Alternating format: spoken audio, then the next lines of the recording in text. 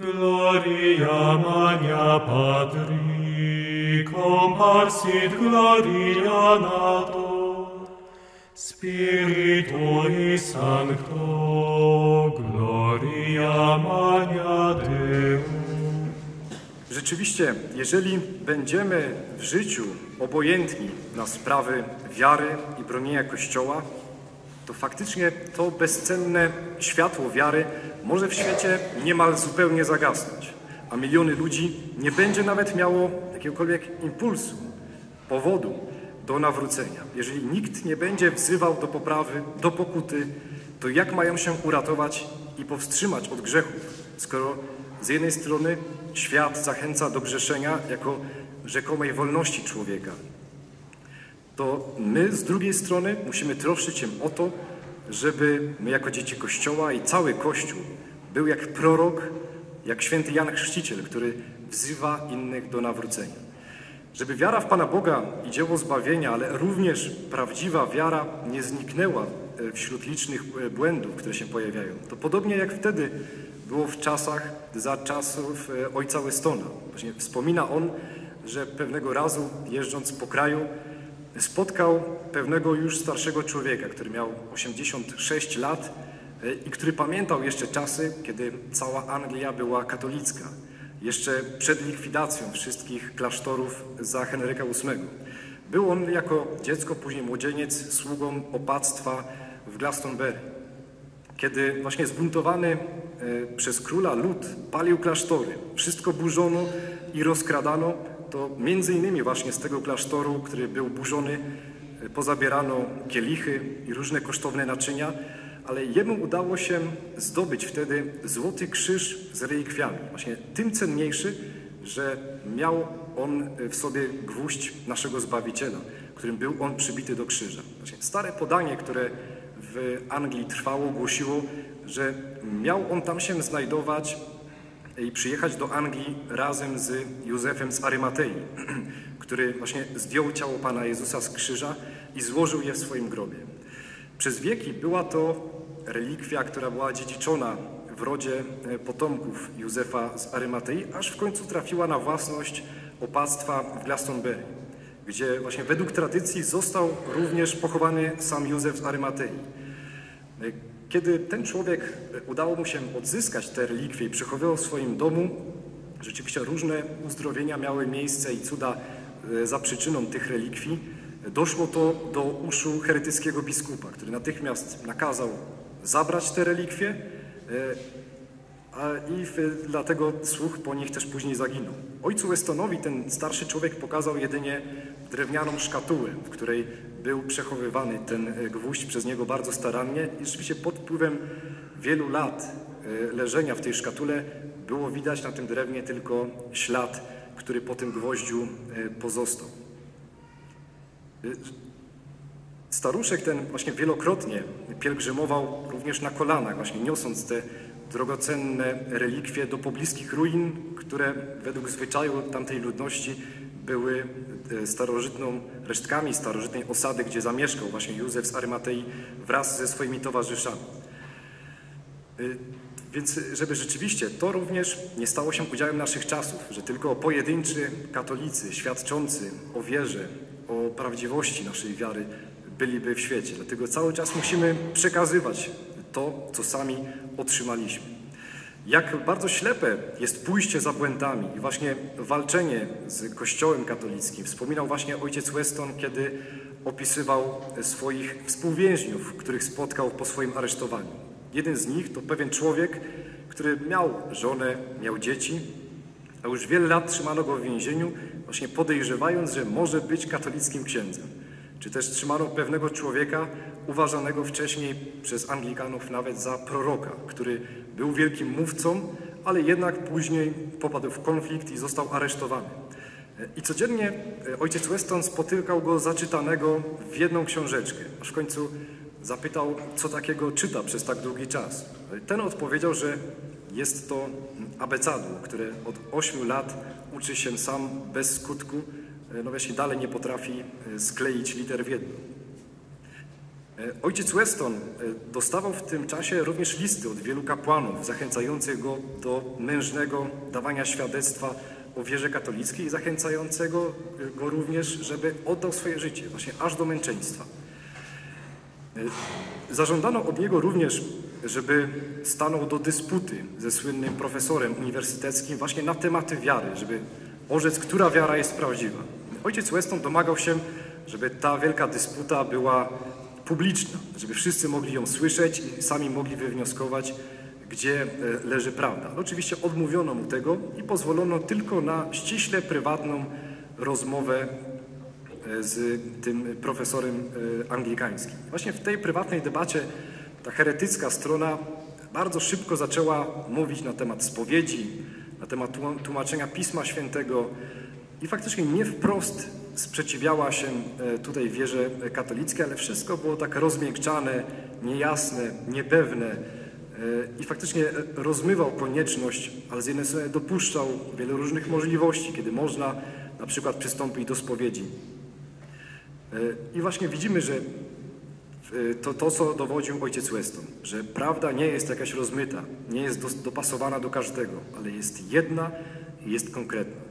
I okazało się, że podczas tej dyskusji e, nakazały władze słuchać jej dwóm kapłanom, którzy przez długi pobyt w więzieniu zaczęli się chwiać i w końcu na skutek cierpień i słabości wyrzekli się wiary katolickiej. Właśnie w ukryciu mieli wszystkiego bardzo pilnie słuchać. E, I władze były przekonane, że kiedy wysłuchają tej dyskusji e, katolickiego jezuity i heretyckiej anglikańskiej strony, to natychmiast przekonają się do religii anglikańskiej. Ale stało się jednak zupełnie na odwrót. Właśnie słuchając argumentów i dowodzenia ojca Westona o prawdziwości wiary katolickiej, o konieczności przynależenia do świętego Kościoła katolickiego, rzeczywiście odczuli oni wielki żal za swoje grzechy. Właśnie jeden po powrocie do celi właśnie zadeklarował chęć powrotu do Kościoła i później poniósł również męczeńską śmierć za wiarę. I tutaj warto się zastanowić, czy my byśmy wytrwali i po której stronie byśmy stanęli, kiedy kazano by nam odstąpić od wiary Kościoła. Jeżeli teraz kogoś nudzi zgłębianie wiary, źle zachowuje się na mszy świętej, czy bez pobożności przystępuje do sakramentów, nie zgłębia katechizmu, nie stara się poprawić z grzechów, e, właśnie wypracowując cnoty, to nie oszukujmy się. Nie wytrwa w chwili próby i prześladowań. Wasza praca teraz, wielki wysiłek w tych drobnych, małych rzeczach zaowocuje dopiero wtedy wielkim hartem ducha i cnotami, które są potrzebne do wytrwania w prawdziwej wierze aż do końca. Dlatego starajcie się zrobić wszystko, żeby dawni męczennicy nie musieli się za was wstydzić ale żeby każdy z Was stał się kiedyś powodem do dumy dla całego Kościoła. Że nie jest to takie proste, pokazuje historia właśnie jednego z tych księży, księdza Antoniego Tyrela, który był właśnie księdzem katolickim, który również w ukryciu sprawował sakramenty, mm, aż w końcu został aresztowany. I miał takie nastawienie, że faktycznie jest z tego powodu szczęśliwy. Chce oddać życie za Pana Jezusa aż do męczeńskiej śmierci. Ale pod wpływem tego, że mijały kolejne tygodnie, miesiące, w zimnej celi, y, zaczął chorować. Faktycznie zaczął coraz bardziej słabnąć w swojej wytrwałości, aż w końcu odstąpił od wiary i przyłączył się do Anglikanów. Y, przestał odmawiać brewiarz, przestał chodzić y, w sutannie. I rzeczywiście widzieli to inni współwięźniowie katolicy, którzy bardzo się zaniepokoili, aż w końcu znaleźli jego listy z jednym z ministrów królowej Elżbiety, właśnie w, której, w których deklarował przyłączenie się do obrządku anglikańskiego E, I przekazano to ojcu Westonowi, pytając właśnie, co zrobić e, w tej sytuacji. I faktycznie ojciec Weston wprost z nim e, porozmawiał. Oczywiście ten wypierał się wszystkiego, aż w końcu pokazał mu listy, w których przyznaje się do opuszczenia wiary katolickiej. I rzeczywiście dopiero wtedy wzbudził głęboki żal, głęboką skruchę za to wszystko, co zrobił i postanowił, że chce wrócić do wiary Kościoła.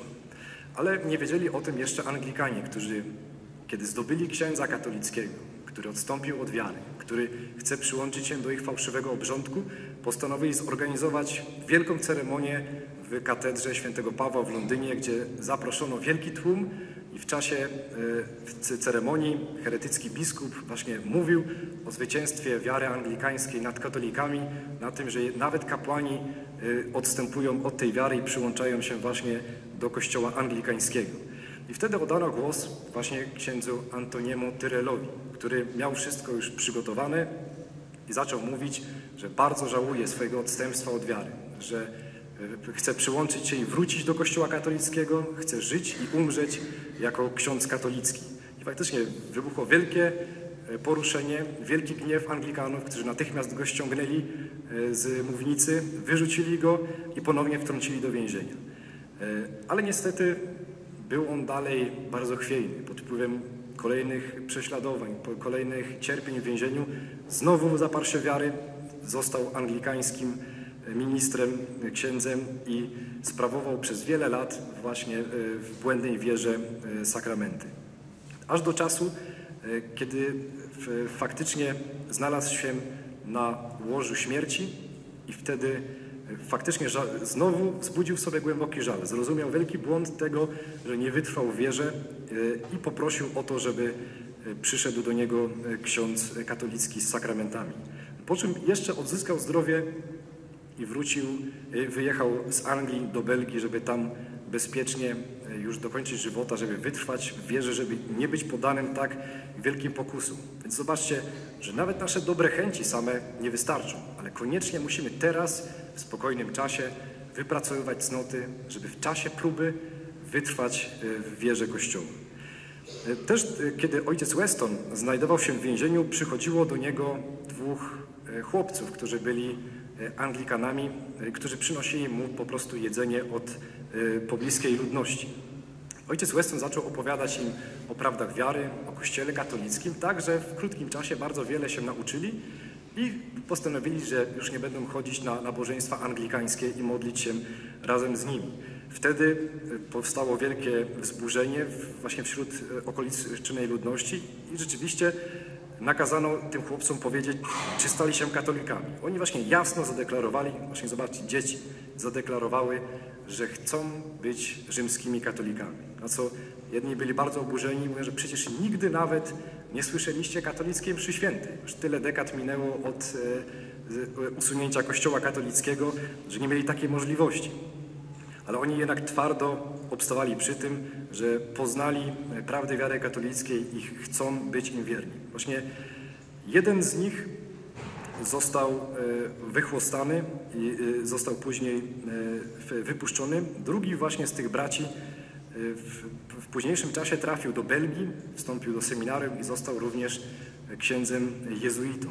Więc zobaczcie, jak bardzo powinno być nam tak naprawdę współcześnie wstyd, że my często jesteśmy tacy znudzeni, tacy niechętni do modlitwy, do nauki prawdy wiary, a zobaczmy, ile oni ryzykowali, a, ile mniej dostali tak naprawdę. Wy macie wspaniałą formację, y, uczy, uczycie się prawdy wiary, macie właśnie możliwość przystępowania do sakramentów, więc jak niewiele was to wszystko kosztuje.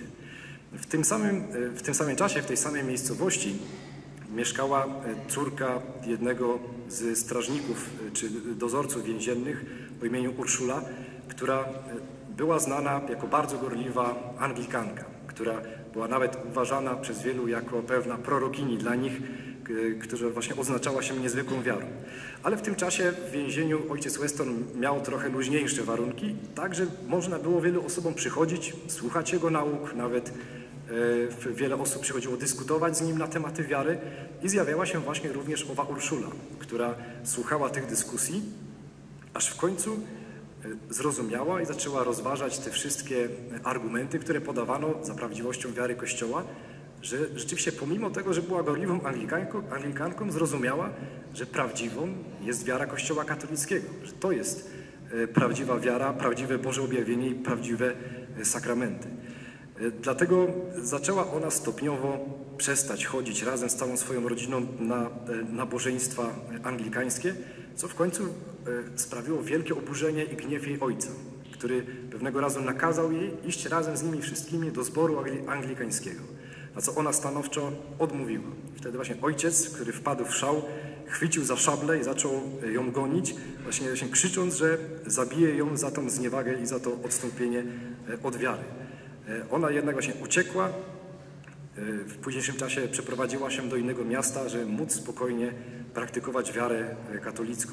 Dlatego zobaczcie, że trzeba mieć niezwykłą odwagę, żeby potrafić sprzeciwić się złu, sprzeciwić się błędom, nawet jeśli bylibyśmy zupełnie sami, nawet jeśli nie mielibyśmy żadnego wsparcia, bo nie można być właśnie obojętnym, nawet jeżeli nie mamy pomocy od innych.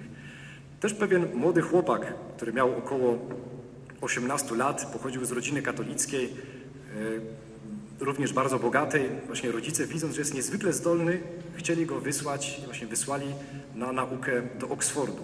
Tam oczywiście znajdował się w heretyckim środowisku Anglikanów, którzy cały czas go atakowali, wyśmiewali się z, go, z niego, właśnie szybko rozpoznali, że jest e, katolikiem i cały czas nagabywali go, że bez sensu jest e, trwać w tej wierze, żeby się stał Anglikaninem, żeby przyłączył się do ich wiary, że chyba nie rozumie, jak wiele ryzykuje, jak wiele może stracić, jak wielkie niebezpieczeństwo mu grozi. I faktycznie tak z niego również szydzili, tak go atakowali, że w końcu biedny chłopak złamał się i poszedł razem z nimi słuchać nauki pewnego e, anglikańskiego e, pastora. I rzeczywiście po, po tej nauce przeżywał tak wielkie wyrzuty sumienia, tak wielkie obawy i właśnie świadomość tego, że popełnił grzech ciężki, odstępując e, od wiary przez e, słuchanie heretyckich e, nauk. Właśnie wtedy rzeczywiście zrozumiał, że tylko w wierze objawionej przez naszego Pana Jezusa Chrystusa jest dane życie wieczne. Dlatego, kiedy przeżywał swoje różne rozterki, za, zaczęli inni również o tym wiedzieć. Przyszedł wtedy jeszcze mm, jeszcze Anglikanin, ale bardzo sympatyzujący wobec wiary katolickiej i powiedział, że znajdzie dla niego księdza, żeby mógł się wyspowiadać.